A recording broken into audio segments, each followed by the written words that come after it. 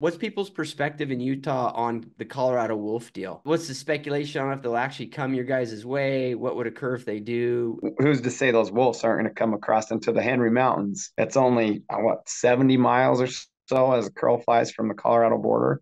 Right. And that's one of the last pure blood, free range bison herds in America. I mean, oh, that's yeah. the purest genetic bison herd I think that there is. Like even the Yellowstone bison have more bovine genetic mixed in than than our Henry's bison do at this point. I've never heard this. It would be really unfortunate, but that would be like a really crazy political thing to happen. So Colorado's wolves go over now they're interacting with what would be symbolic of like a pristine ecosystem these pure you know pure blood uh, bison huh